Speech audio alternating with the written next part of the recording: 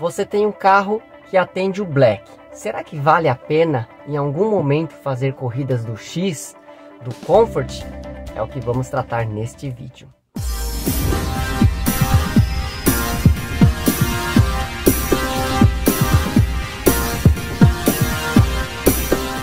Olá, sejam bem-vindos para mais um vídeo aqui no canal Uber do Japa. Meu nome é Luiz Satada e sou motorista de aplicativo atuante da cidade de Mogi das Cruzes há mais de 4 anos e meio e posto muito conteúdo relacionado às questões financeiras e ao desenvolvimento pessoal. Bom, gente, eu fiz corridas hoje, outros dias também, no X. Faço no Comfort, de vez em quando também na 99. Será que vale a pena? Por que eu faço? Hoje eu quero mostrar corridas que eu fiz no X, é claro, né, como deslocamento. Quero falar para vocês quando que eu faço, por que que eu faço e se vale a pena. Mas isso eu vou mostrar no dia a dia, na minha jornada.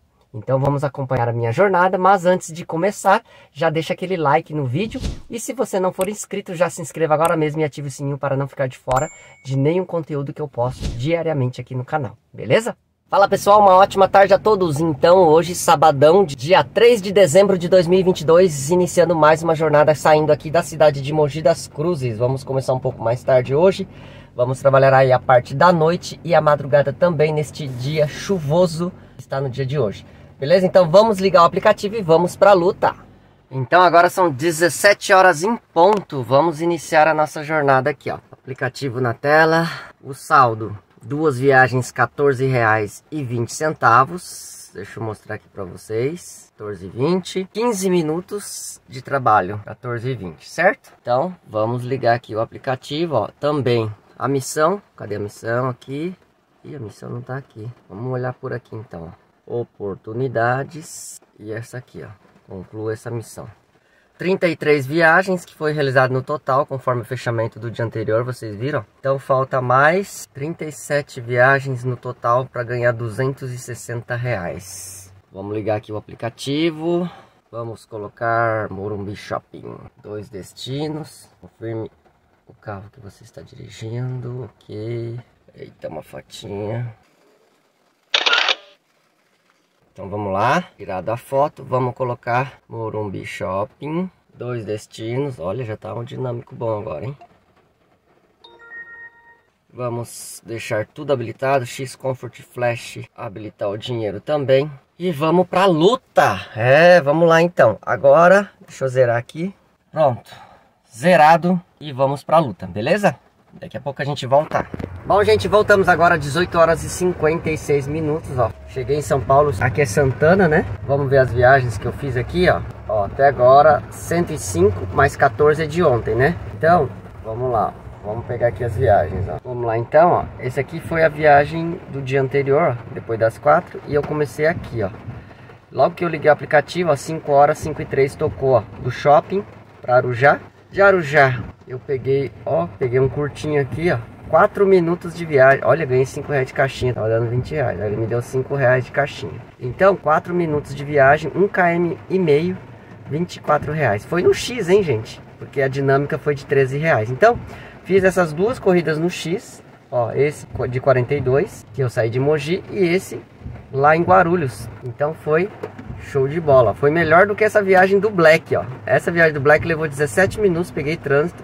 Só que só foi 8 reais de dinâmica, né?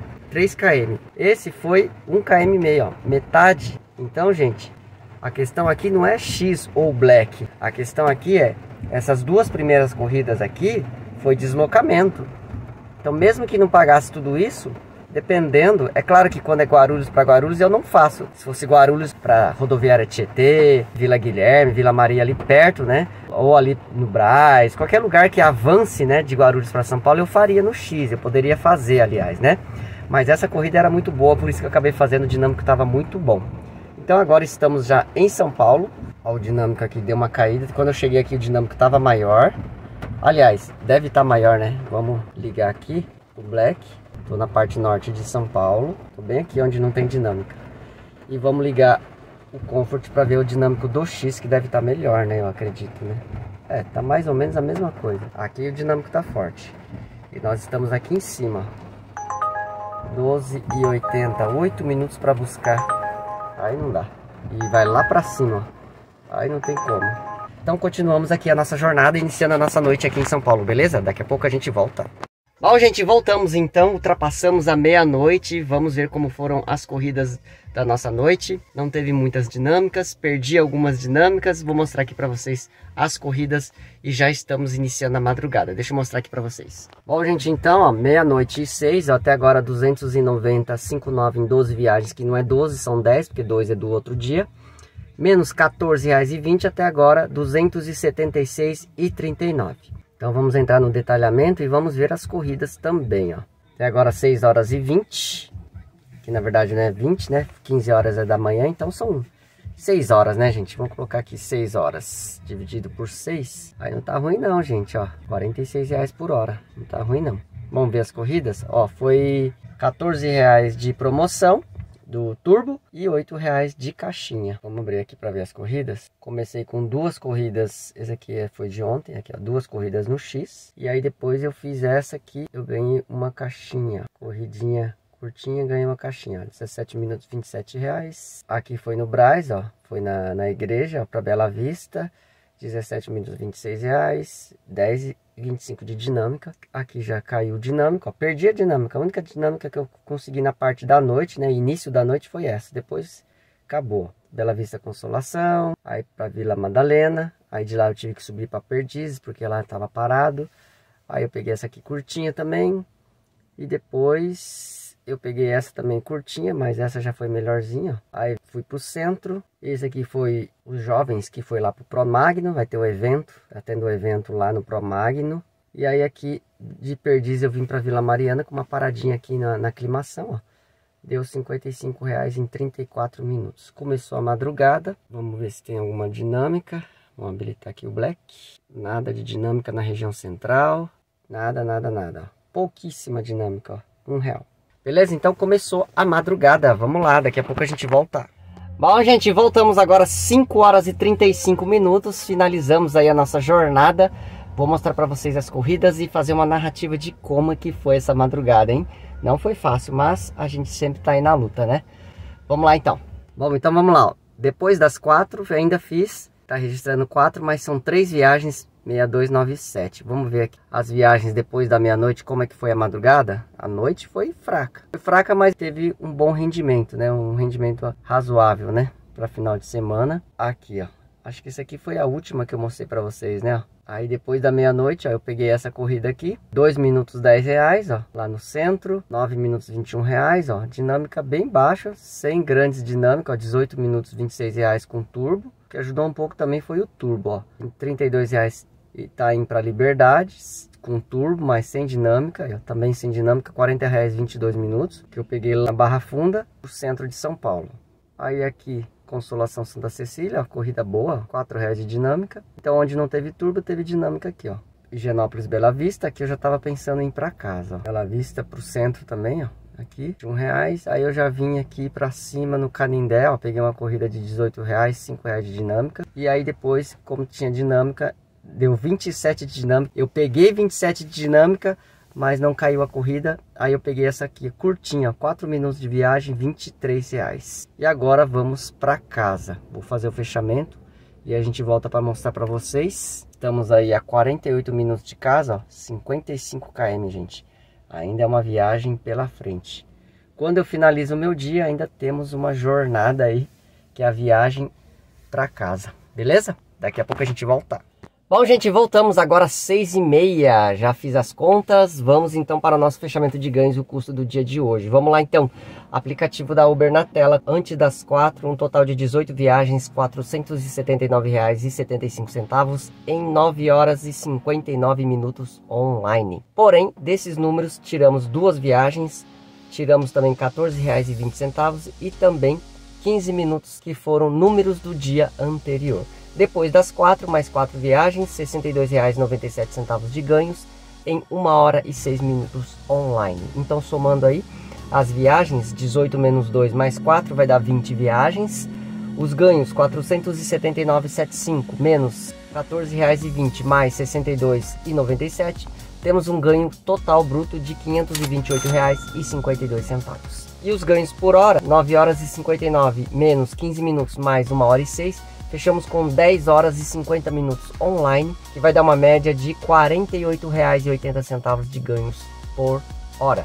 O ticket médio por corrida, 528,52 dividido por 20 viagens, vai dar uma média de R$ 26,42 de ganhos por corrida. Agora vamos para o custo e ver primeiro quantos km nós rodamos. 6,5 e o KM de hoje ficou em 263 com autonomia média de 10.5 km por litro de gasolina. Então agora vamos para o custo. Vamos ver aí o consumo primeiro. Pegamos o KM de hoje, 263, e dividimos pela autonomia média 10,5, vai dar um consumo de 25 litros 0,47. Multiplicando por R$ 4,99, que é o valor que eu pago por litro, temos aí um custo de R$ 124,98, mais R$ 4,20 de pedágio, temos um custo total de R$ 129,18. Subtraindo esse custo do ganho, 528,52 menos 129,18, temos aí um ganho líquido total do dia de R$ 399,34. O custo por km, nós pegamos aí o valor da gasolina, R$ 124,98, e dividimos pelo km rodado 263, que vai dar uma média de 47 centavos por km. Então esses foram os números de hoje de ganho e de custo, lembrando, como eu sempre falo, o fechamento que eu faço é um fechamento diário, por isso eu coloco só o custo do dia, que é o combustível e o pedágio quando tem. Os demais custos vai tudo no fechamento do mês, tudo detalhado, beleza? Bom, gente, então estamos finalizando mais um dia de trabalho. Vocês viram o rendimento, deu quase 50 reais por hora, foi muito bom. Trabalhei poucas horas, né? Foram quase 11 horas. Então, levando isso em consideração, foi muito bom. Claro que por ser um sábado a gente esperava um pouco mais. Eu achava que a madrugada ia bombar e conseguiríamos fazer um resultado maior. Porém, mesmo assim, ainda não foi ruim, conseguimos bater quase 50 reais por hora, trazendo aí pelo menos a nossa meta mínima, que é o 500 reais, né? Queria bater 600, mas já passei da hora e eu tenho que descansar para o próximo dia. Bom, agora eu quero responder a pergunta que eu lancei no começo do vídeo sobre Uber Black. Faz X, faz Comfort, faz 99 Comfort, 99 Pop. E aí, será que vale a pena? Será que devemos fazer? Não devemos fazer? eu vou falar a minha opinião e como que eu utilizo isso. Porque às vezes vem pessoal que não acompanha muito o canal e fala que ah, não vale a pena comprar carro black para ficar fazendo X, ficar fazendo comfort. Enfim, sempre tem esses comentários. E quem acompanha o canal já sabe que eu faço X e comfort para deslocamento, faço 99 pop para deslocamento. Então, é fácil criticar para quem não está na pele do outro. Eu tenho certeza que aquele que critica, se morasse onde eu moro e fizesse black onde eu faço, tenho certeza que faria comfort. Tenho certeza que faria X e também faria 99 pop. Eu só não faço em drive porque não toca em drive aqui em Mogi. Então, pensa comigo, 60 km para chegar na atuação do black. Se você vai e faz uma corrida X, duas corridas X no meio do caminho e levanta lá 40, 50, 60 reais, 70 reais, às vezes até 100 reais. Será que não vale a pena? Você já está se deslocando, você já vai andar esse percurso vazio. Então, dessa forma, com certeza vale a pena. Vale muito a pena. Então eu acabo fazendo justamente porque ajuda no meu custo. É claro que se eu for direto para Sampa, com certeza eu vou levar menos tempo. Porém, eu vou rodar vazio. Então, às vezes vale a pena sim fazer essas corridas e acaba ajudando a pagar o meu custo. Outro momento que eu também faço às vezes comfort, quando eu estou na área do black, gente, eu não faço X, nem para bater meta e nem para bater promoção. Também não critico quem faça porque cada um tem a sua necessidade, cada um tem o seu pensamento e a sua forma de trabalhar. Se no final tá batendo as contas, isso é o que importa. Cada um sabe o que faz. Agora eu não faço e eu tento fazer no máximo um comfort. Quando está muito fraco a demanda, quando de repente toca um comfort para mudar de região, porque não está tocando, aí eu faço. Então, gente, aí eu faço, porque aí acaba ajudando um pouco nos ganhos, né? O comfort, o valor já é um pouco maior que do X. Agora X eu não faço a não ser para deslocamento, beleza? E também, se na área do black de repente tiver um dinâmico bem alto, aí até vale a pena sim fazer o X, por que não? Imagina que tenha um dinâmico 30 naquele local e não toca black, não toca black e toca um dinâmico 30. mais uma corrida de 7 reais, 37 reais em 5 minutos, por exemplo, no X, será que não vale a pena? Claro que vale a pena. Vale a pena sim. E se você faz, tá valendo a pena. Ah, beleza, se fosse no Black daria 40 reais. Mas tá bom, se não tá tocando Black e só toca X no dinâmico, você vai lá e faz o dinâmico 30 mais 7, 37. Claro que se fosse 40 no Black, valeria a pena, mas 37 também vale a pena porque o dinâmico é 30. Então, gente, às vezes temos que pensar e não ficar criticando. Né? Aquele cara que critica pouco faz e pouco consegue. Por quê? Porque ele fica criticando e olhando os defeitos do outro, mas não consegue ver os seus próprios defeitos. Estratégia é assim: a gente escolhe e a gente pode acertar, a gente pode errar. As corridas a mesma coisa. Às vezes a gente pega uma corrida achando que é bom e vai para um outro lugar e dá ruim. Às vezes a gente pega uma corrida que às vezes a gente até pensa que é ruim, vai para longe achando que vai dar errado porque dificilmente a gente pega o retorno e às vezes a gente pega o retorno. Quantas vezes vocês já não fizeram? Eu já não recebi também relato de uma corrida que você fala: "Ah, eu vou fazer, vou arriscar, mas não sei se eu vou pegar a volta". E às vezes pega e faz um resultado legal. E às vezes você vai num lugar que você acha que vai pegar retorno porque o horário é propício e você acaba não pegando. Então, a gente tem que fazer as escolhas e às vezes a gente acerta, às vezes a gente erra. Não é isso? Então, finalizando mais esse dia aí, levando esse ensinamento para vocês, a minha forma de pensar, espero que tenha ajudado. Já aproveita, deixa aquele like porque ajuda muito no meu trabalho. E claro, se puder, compartilhe esse vídeo com seu amigo no seu grupo de WhatsApp na sua rede social. E se caso você não for inscrito, já se inscreva agora mesmo e deixe sim ativado porque toda vez que eu postar um vídeo novo, você será notificado em primeira mão. Mais uma vez, muito obrigado a todos, um ótimo descanso para você que está em casa, um ótimo trabalho para você que está nas pistas, que você tenha muitas viagens abençoadas e um ótimo ganho no final do seu dia, chegando em casa sempre com saúde, com segurança, com alegria e claro, com muita gratidão no seu coração. Tá bom, gente? Um grande abraço, fiquem com Deus, excelentes viagens e ganhos a todos e até o próximo vídeo.